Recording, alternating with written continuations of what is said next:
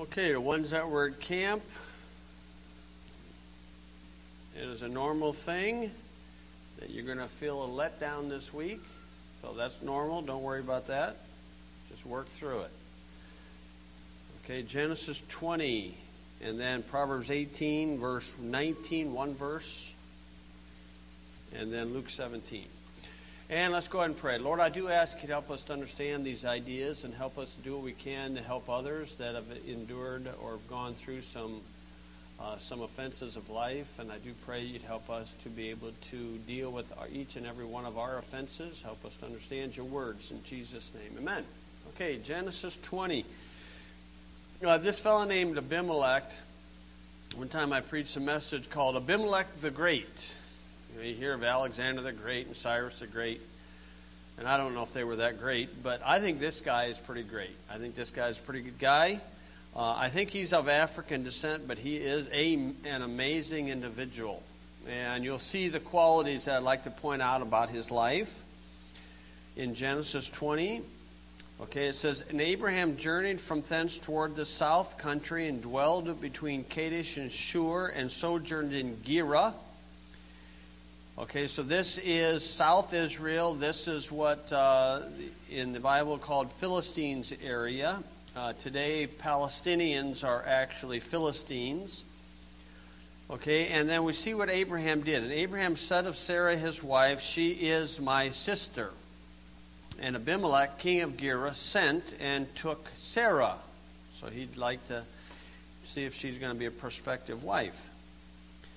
Okay, so that night, it says, But God came to Abimelech in a dream by night and said unto him, Behold, thou art but a dead man. For the woman which thou hast taken, for she is a man's wife. Now, it'd be a pretty bad dream, would it not? And that's one of those dreams. You have something like that, and then you kind of wake up and, oh, what was I dreaming? Man, oh man.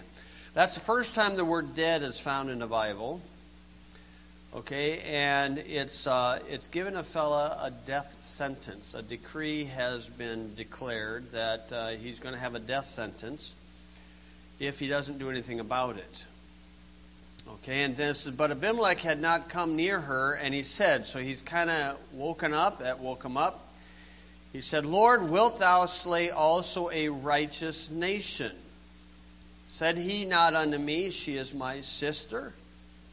And she, even her, she herself said, He is my brother. In the integrity of my heart and innocency of my hands have I done this.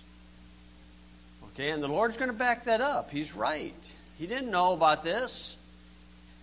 And God said unto him in a dream, Yea, I know that thou didst this in the integrity of thy heart, for I also withheld thee from sinning against me.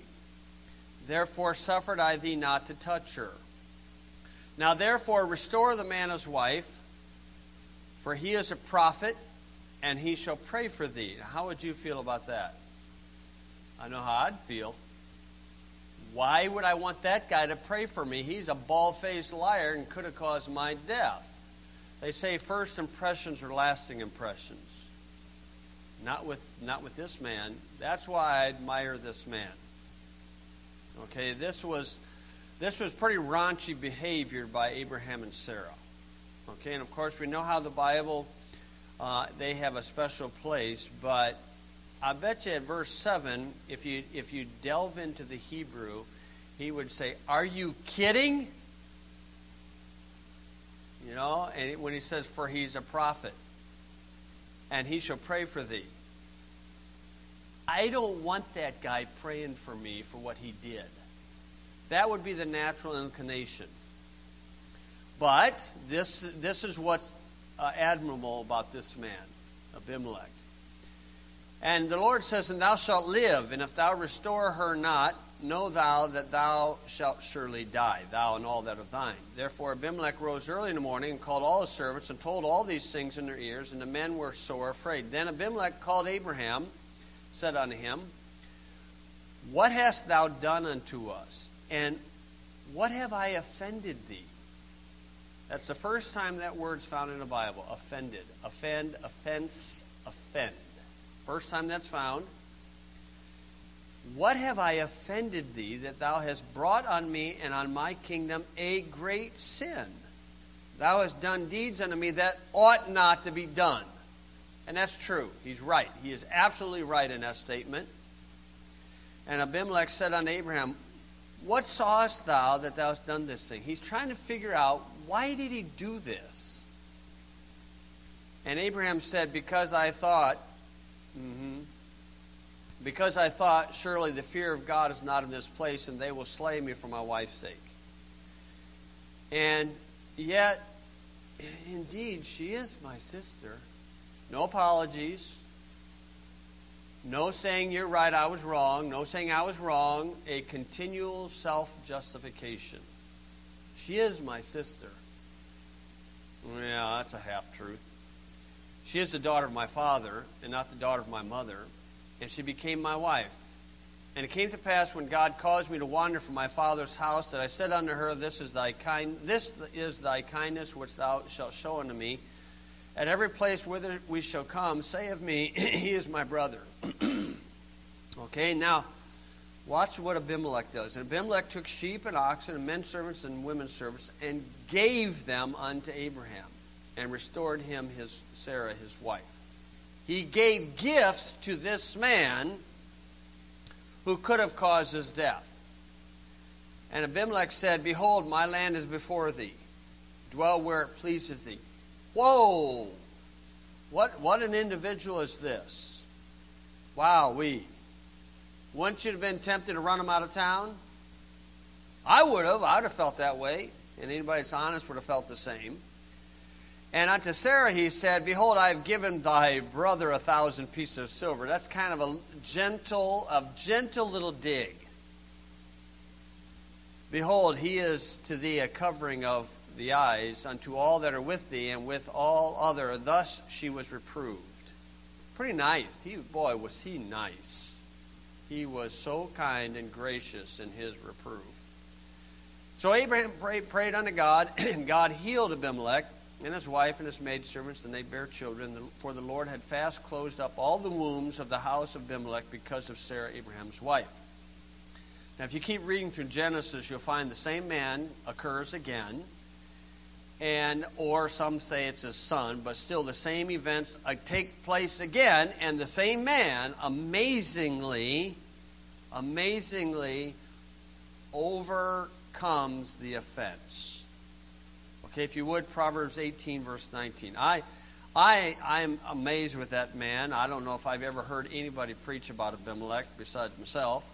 Of course, I had to hear myself because when I was talking, my ears heard me. And so, uh, uh, Proverbs 18, 19. Now, we've all experienced this, I would dare say. A brother offended is harder to be won than a strong city and their contentions are like the bars of a castle. Okay, we'll come back to that one. Okay, that's under point two. Luke chapter 17. Okay, in the account with Abraham, there's no record of an apology, an honest, direct apology of Abraham to Abimelech. No, there's no record of that. There is a self justification, or what we could call a fundamentalist apology. It goes something like, I'm sorry you're not smart enough to understand what I was saying. okay, something like that. Uh, Luke 17. Okay, in this one it's quite clear. Then said Jesus, then said he unto the disciples, It is impossible, but that offenses will come. Okay, that, since Adam sinned, offenses have taken place. Okay, usually when offenses take place, who usually gets blamed? Adam started that. When Adam and Steve, Eve, Steve, not Steve, definitely not Steve, when Adam and Eve was when God came to them and and they confessed their wrong, who did Adam blame? It was the woman that you gave me. Who was he directing his blame to? He was blaming God. And often that's what happens. Okay, but in this case, Luke 17 1, it is impossible, but that offenses will come, but woe unto him through whom they come. It were better for him that a millstone were hanged about his neck and he cast into the sea than that he should offend one of these little ones. Now, Luke only puts one verse to that thought process. It's the only thought that I can recall that Jesus referenced a death sentence. And Matthew gives 10 verses for this one verse. So, to fully understand what he's talking about in verse 2, you've got to go back to the cross reference of Matthew 18 read 1 through 10, and you'll see what he's actually referring to. Okay, so he's talking about an offense, and we might will uh, come over to that a little bit. Then he says this Take heed to yourselves. if thy brother trespass against thee, rebuke him. And if he repent, forgive him. That's a command. If he trespass against thee seven times in a day, and seven times in a day turn again to thee, saying, I repent, thou shalt forgive him. Now, the apostles, obviously, anybody will say, Are you serious? Now, the apostles, again, if you delve into the Greek, they will say, Are you kidding me? And then in unison, they say, verse 5, Lord, increase our faith. So that's a demonstration of faith is when we can offer the forgiveness. But what do we do if there's no? I mean, Abimelech wasn't. Abraham did not ask Abimelech to forgive him. And amazingly, Abimelech moved forward. And actually listened to some things that Abraham said in spite of Abraham's behavior. May, uh, that Abimelech's quite a character. I would encourage you to look him up and read about him. Now, when I refer to the word offense, okay, it can be an illegal act. Okay, it can be a breach of a rule.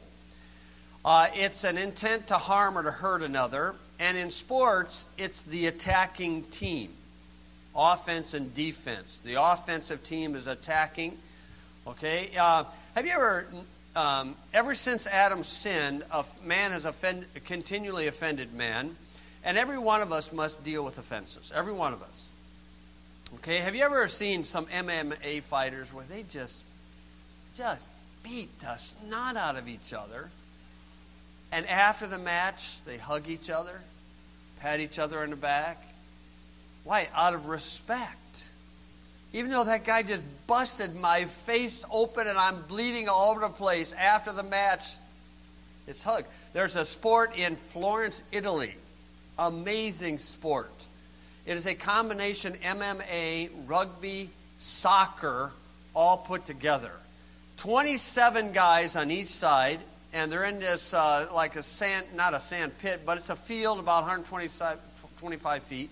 And all they got to do, all, all they have to do is take one ball from the other end and throw it over the edge into this net. That's it. And the net is the entire width of the field. That's all they got to do.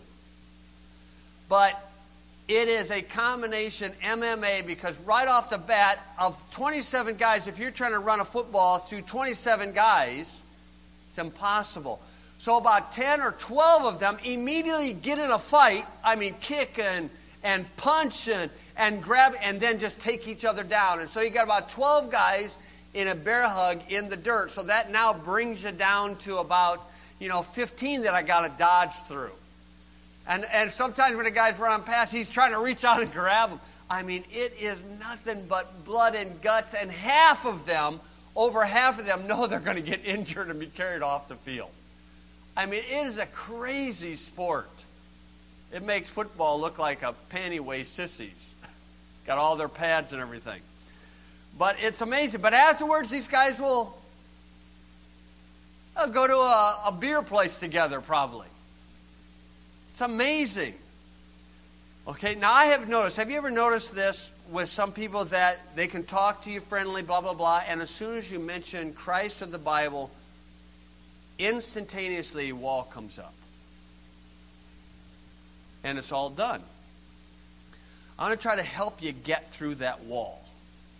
Because there's something that's happened to that individual that when you mention Jesus or Bible, that triggered that memory and that pain came to the forefront, and that wall, the bars of a castle are right there. And it stopped, but we can work through that. Okay, so I want to give you some thoughts this morning about overcoming the offenses of life. The first one, the range of offenses varies greatly. Okay, from a major, absolute major harm, like murder, that's an offense, but obviously you can't do much about that if you're the one murdered. Okay, but a grave offense to the hypersensitive, thin skinned little sissies that's being occurred in America. That's still called an offense. That was prophesied by Jesus in Matthew 24 when the apostles asked him about some signs of his coming. He said in Matthew 24 10, he says, Many are going to be offended. This is the whole root uh, idea of this political correctness, where people get offended by a word. If you just say something, you don't, know, what did I say? And you can't even figure out. That's this hypersensitivity that Americans, why are, uh, uh are having to come across them is because they're madly in love with themselves and the world revolves around them. all these selfies. They think the world revolves around them. Okay? And so I'm not talking about that sissified type of offenses. I'm talking about, I mean, some real major offenses, things that really catch you off guard. Now, Abraham did commit a terrible offense toward Abimelech and could have had some major consequences, but amazingly, Abimelech overcame it. Amazingly. In Matthew 18, that's the passage that I referenced in Luke 7, uh, 17, verse 2. If you read Matthew 18, you got about 10 verses through there, and it's talking about a religious leader over children. And it talks about him offending children. This is a major offense, and it's such a major offense where Jesus says, The Bible, my judgment on that offense is the death sentence by drowning. Okay, that would be a Catholic priest molesting an altar boy. That would be a Baptist preacher or staff member messing around with people in the church, kids in the church, youth in the church. That's what that would be.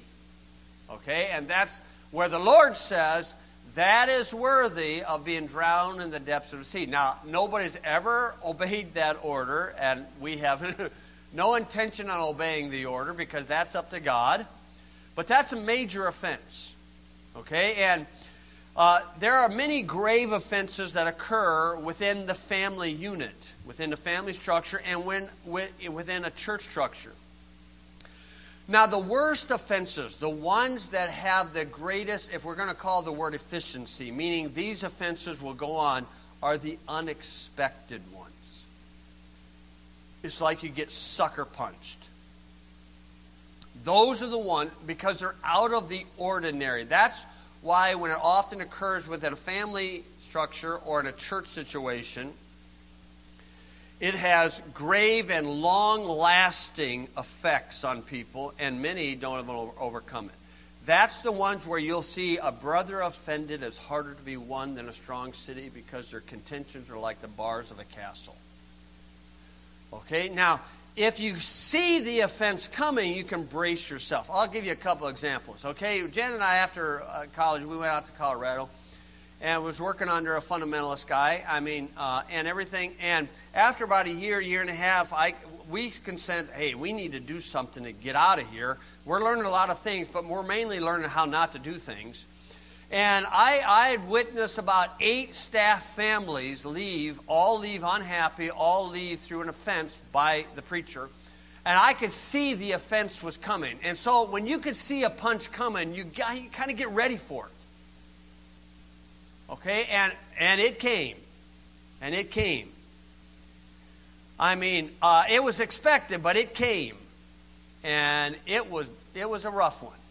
Okay? And but yet the Lord used that in a merciful way, in a merciful way to get us from fundamentalism into the Bible believing realm. So you're looking back on it, you can see, but at the time the offense is, man, you're licking your wounds.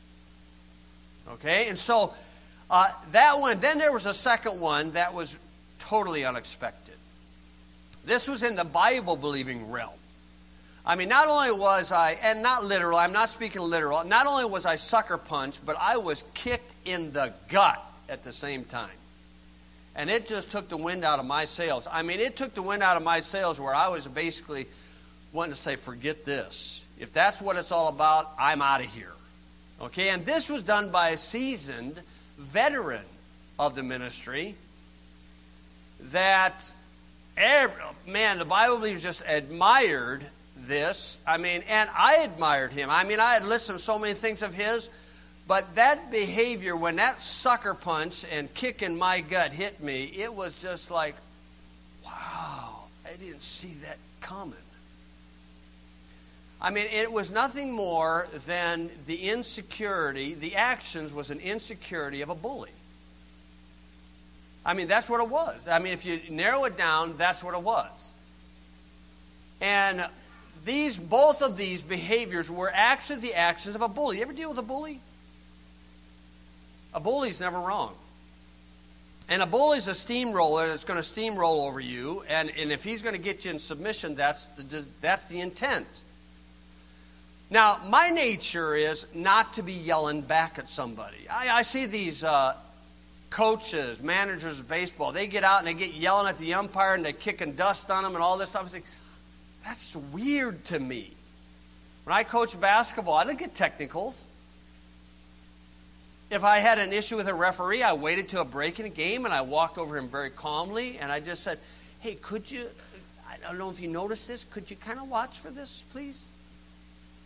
Now, I didn't get a lot of action that way, but that's just not my nature to be yelling and screaming at somebody.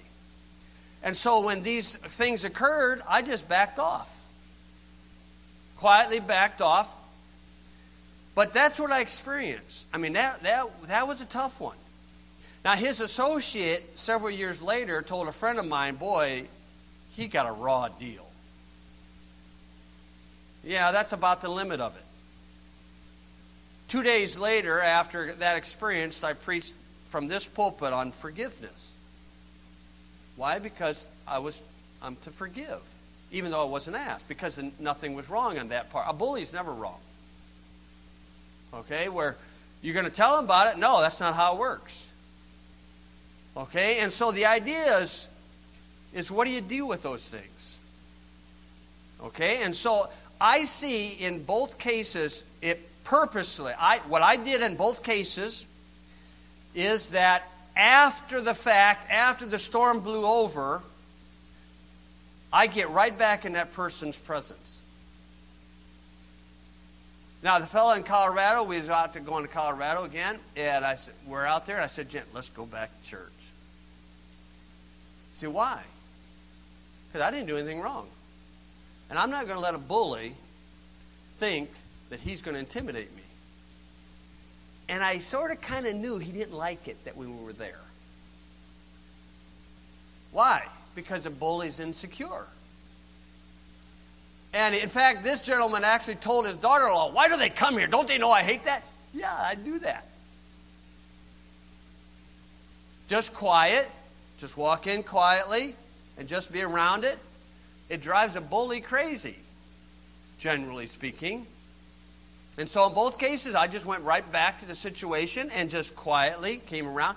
I see bullying and manipulation is the behavior in most churches. That's how Gentiles think the way they're to be a leader, is by being a bully or manipulate. I see that's what most soul winning techniques are, is being a bully. Bullying somebody to my position.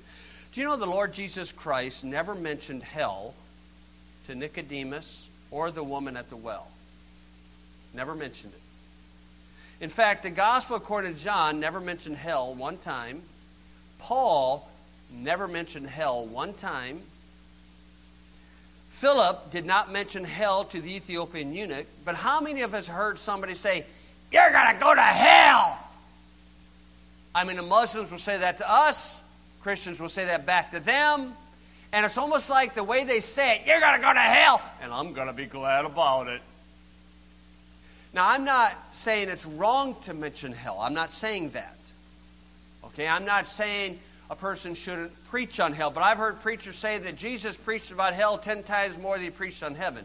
No, he didn't. He didn't do that. Okay, and most soul winning techniques is basically scaring somebody to take this fire escape. How about preaching about Jesus Christ? Okay, again, I'm not saying we're not supposed to mention it as far as the Spirit of God leading us or guiding us in any conversation. I'm just saying that it appears to me that most of these techniques is nothing more than a bullying or manipulation. And that's not exercising free will. God just lays out the truth and lets a man take it or leave it. Just lays it out. You see? And so the idea there is what I've learned from these things is I just when I when I get in a situation where a bully is trying to push something on me, I just quiet down, step back, and I don't say a word. It's not my nature to yell back and get all feisty about it. That's not my nature. I just don't like doing that because I don't think that accomplishes anything. You see, when emotions are high, intelligence is low. Now, the most damaging offenses will occur from another believer parent, pastor, or church. Why are those the most damaging? Satan gets the greatest advantage out of those type of offenses because we're caught off guard.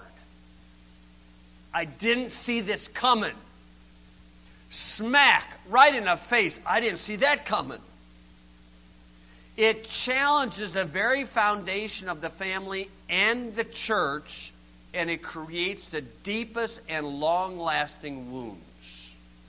And if you ever come across somebody who's experienced these things, and as soon as you mention the Lord, Bible, or church, you're going to see a wall come up. Why? A brother offended is harder to be won than a strong city because their contentions are like the bars of a castle. So, what do we do? Second thought offenses wound the soul like injuries wound the body. Now, the Lord Jesus orders forgiveness when requested by the offender. Luke 17. That is an order. You say, I can't do it. If the Lord grants an order, then He can give us the grace to obey the order. Okay? And then the emotional wound can, can be recalled. It can be recalled. Okay, a person can forgive, but you're still nursing your wounds. But yet, as time goes on, as soon as that trigger is tri- tripped, all those memories come back and that recall comes back. And that pain comes back. And hence, there's that wall, the bars of a castle. I just was noticing a fellow recently when I was preaching. As soon as I mentioned Lord Jesus, I happened to look at him and I talked about the Lord Jesus, accepting the Lord Jesus. I could see his eyes just in the face. I could see hardness just like that. Something happened. Something happened that triggered that pain in that man. Now, a lot of times we don't know what to do. So, what do you do if, if, if it's a good friend? You can sense the spirit of a good friend or a family member when something's going on.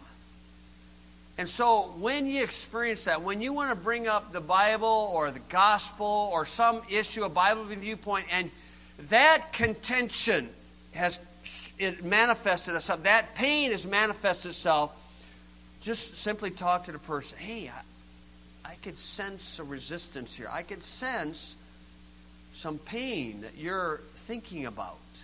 Am, am I correct? Yeah. Would you like to talk about it? Man, I, I, didn't, I didn't mean to hurt you. It wasn't my intention to hurt you. I wasn't my intention to bring up something that's painful in your past, but would you like to talk about it? And, and weep with them. Rejoice with those who rejoice and weep with those who weep. Now, I'm not saying you have to believe everything they say because, you know, there's always three sides to a story or three sides to a coin you got heads and tails on the edge, and the truth is usually on the edge. But I'm still saying there's a pain there you want to try to work through. And so, what do you do? You ask for the reason and listen to their pain. You empathize with them and reassure them of your friendship and concern for them. And if it was really a truly a grave offense, I'm not saying don't call him a liar. I'm, maybe maybe it happened, maybe it didn't happen. I don't know. But just say, you know what? The Lord Jesus Christ is in agreement with you. That was wrong behavior. The Lord Jesus Christ doesn't approve of that behavior. Now, that person may have been Christian, that person may be promoting the Lord Jesus, but the Lord Jesus Christ does not approve of that behavior, and the Lord Jesus Christ cares for you in that situation. And, reveal, and you can actually show them that, you know, in some cases, the Lord predicted this behavior to try to forewarn us. You know, dealing with a Catholic boy, I've seen Catholic uh, young men that want nothing to do with God, nothing to do with anybody about Jesus or the Bible, and because a Catholic priest offended them deeply as they're coming through there, and I'm a Baptist, I'm not a Catholic, but that doesn't matter. Because they see God and Christ and Bible all in the same realm. They've thrown everybody in the same basket. Okay? And sometimes you can try to work through them with it and say, hey, hey, hey, the Lord Jesus Christ didn't approve of that. But you know what? The Lord Jesus Christ said that man should be thrown in the depths of the sea. Just to try to help the person through it. It's the pain that they're thinking about, it's the hurt. The offenses wound the soul, and injury, as injuries wound the body. The third thought is this we can overcome the offense through the love, through love for Jesus Christ and His Word. Okay, ideal verse Psalm 119, 165. Great peace have they which love thy law, and nothing shall offend them. Now, I pulled that on a guy one time where he was he, throwing a bunch of things at me. He said, Well, I'm sorry if I offended you, brother. And I said, I just smiled. I said, I, you know, you couldn't offend me if you tried, because great peace have they which love thy law, and nothing shall offend them. You see, I wasn't expecting offense in that, so I already had my armor on. Man, I had my defenses ready. I mean, already could see it coming. But when you get sucker punch, you don't see that. You don't see that coming. Okay, and so overcome the offense through the love for the Lord Jesus. Now, looking backward on both of those offenses that I told you about, the one was gloriously, both gloriously used by God to get me where God wanted me. And I thank God for it. I mean, the one was a shift from a fundamentalist to a Bible believer. The other was a shift from, don't put these Bible believers on that pedestal too high. They don't have the niche to all truth. You can find other areas. And I thank God for those things. I can't thank God enough for you see, with time, you can look back on the offenses in your life and say, that was God trying to make us stronger. That was the Lord trying to draw us closer to Him. Why? Because who's been offended by more people than anybody? Jesus Christ is. He died for our offenses. So the third thought is this you overcome the offense through the love for the Lord Jesus and the Word of God. Now, pain is inevitable, but misery is optional. Now, the continual pain will result. Why? Because of this attitude. The offense was committed against me. So, why was the offense committed against me? It's because I'm walking and breathing. Why? Because that's life. And if a person analyzes it, the offense that was committed against me, there are other people within their sphere of influence, friends, acquaintances, that have committed the similar offense, but it wasn't committed against me. And they can befriend that individual because their offense wasn't committed against me. It was committed against somebody. And the thing is that they're not demanding justice for this one because the offense was committed against me. The continual thought of the me is where bitterness steps in. You see, that's how the thing works. Now, justice and vengeance are very similar terms, but the, the very fine line between some of these English words is justice is is a good thing where a person trying to right a wrong for the sake of the offender, for their benefit, to help them. Vengeance is, I want them to experience the same pain, if not worse, than I have. That's vengeance. The motive of it is the difference. I, you know, I'm sure many of us will live long enough that you've seen two a couple saying, "I love you know all you and all this and blah blah." Three years later, four years later, several years later, when there's some grave offenses committed in there, the one will want to gouge the other's eyeballs out and use their eyeballs for marble games and enjoy it. That's vengeance. The Lord says, Vengeance is mine, I will repay. That's where faith steps in. And that's where we rely upon God. The body and the soul have a natural and a spiritual healing capability. Okay, but there are other ways that a person gets offended. And in Matthew chapter 11, John the Baptist was stuck in jail, and he was tired of it.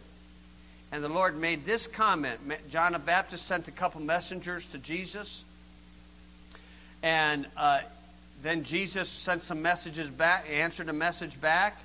And then he turned to the people and he said, Blessed is he whosoever is not offended in me. There's going to be some things the Lord puts in our lives allows to take place that are offensive to us because it's out of the ordinary. It's not normal. It wasn't what I was expecting. It, it went contrary to what I thought. And the Lord says, Blessed is he whosoever is not offended in me. In John chapter 6, there's a strange, unusual idea that Jesus Christ gave. John chapter 6, it's where the Catholics and the Lutherans use to justify the Mass. Mark or John chapter 6 verse 53 to 56 where Jesus says, "I am the bread of life, and he's got to eat of me has eternal life." Oh, you talk about a tough one. That's a weird idea. And that's where the Catholics have set up the Mass, and the Lutherans have adopted that idea. The more the liberal Lutherans, the more conservative, a little bit different, the Missouri Synod. Okay? And that thing threw the disciples for a loop. Now, Jesus answered it in verse 57 where he said, As I live by the Father, so ye shall live by me. So he's saying, spirit, I'm talking spiritually. But like the woman at the well, when Jesus was talking about the living water, she thought literal water. The Lord told them he was speaking spiritually in John 6, verse 63 he said, The words that I speak unto you, they are spirit and they are life. But a lot of times people overlooked that, and the people at that time overlooked it. They were so shocked that he said, Eat my flesh, drink my blood. That's what he said. And they were so shocked when he said, I'm speaking spiritually unto you, that blew over their head. And a bunch of the disciples took off. It's only 666 in the New Testament, chapter 6, verse 66, and the disciples left him and looked at the apostles and he said to the twelve, he said, You offended? Does this offend you? And then he gave them a stranger idea. I mean, he didn't back off from the idea. He said, This offend you, fellas? He said, You're going to see me ascend up in heaven. What? What are you, crazy? He threw another strange idea on them. He says, You guys taking off? And Peter said, Where are we going? You got the words of everlasting life. You see, that's where a lot of people get. They start reading the Bible, and that, that Bible goes against our viewpoint. So, what's the reaction? They get offended, walk away from the book. Give God time. Give Him time to explain those, to work in your spirit, to accept some of those things. The blessings, there are blessings when a person can accept the situation that God has allowed in their life and accept the ideas of the Bible that manifest the love of God and the eternal wisdom of truth. You know, that saying, all things work together for good. People will quote that verse, all things work together good, and then they'll watch these Christian movies where they always have a happy ending on earth. Don't they? They always do. That's how Hollywood always does it. The, you know, the family struggles where they always solve the family issue within the 30 minute sitcom. That ain't reality. Romans 8:28 all things work together for good. That is based in the judgment seat of Christ. That's not based on earth. That offense, that trouble that you're going through may be something you're going through until the day you die. I hate to put it that way, but that's reality. And a reality is that it's going to work together for good at the judgment seat. The Lord is allowing things in our lives that we appear at that judgment seat perfect in Christ. Now, don't look perfect down here, but in Christ. That's what He's looking at. And at that judgment seat, we're going to wish we had, if we're going to wish we went through more trouble. Now, I don't wish that now. I don't want to be at that judgment seat in the line with uh, William Tyndale. No way. Apostle Paul, no way, no way. Put me at a different line. They got to have, you know, soft soap line, hardcore people. I, I'm in that soft, soft line. Okay? But still, the idea that's where all things work together for good to them that love God. And the thing is, as the Lord allows these things in our life, one is to tough us up, one is to move us where He wants to move us, to give us an attitude He wants to change. And it's rough going through those things, but it's, it's the best that God has for us. We overcome the offense through the love for the Lord Jesus Christ and His blessed word. Okay, let's pray. Lord, I do pray and ask that you help each and every one of us that if we have a friend, maybe a sibling, maybe a acquaintance at work that we've been trying to witness to or been trying to tell them about the Bible. Maybe they're saved and trying to get them to the Bible believing viewpoint, and, and, we're, and we're hitting this wall. We're hitting this wall. Help us to climb the wall. Get over on the other side and understand their pain and help them through it. And Lord, I pray that you'd help each and every one of us to be able to overcome the offenses that's been committed against each and every one of us. Why? So that we can please you, so that you can be blessed, so that we can have faith, believing your words. Well, heads bowed and eyes are closed. The piano will play. If you need to use the altar, it's open for you.